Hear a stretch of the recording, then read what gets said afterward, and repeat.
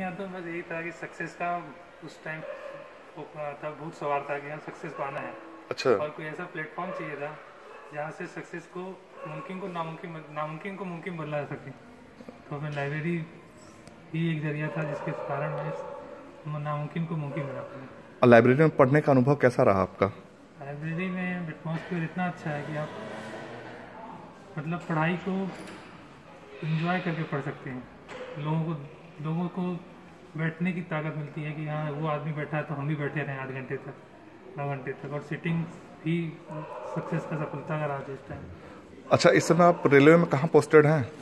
मैं अभी Indian railway में बड़ोदरा डिवीज़न के अंकलेश्वर स्टेशन पे स्टेशन मास्टर के पद पे कार्यरत हूँ।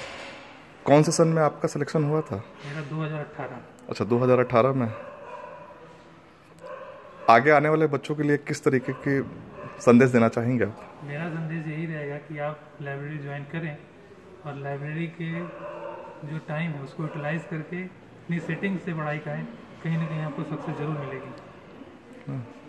आपका बहुत बहुत धन्यवाद।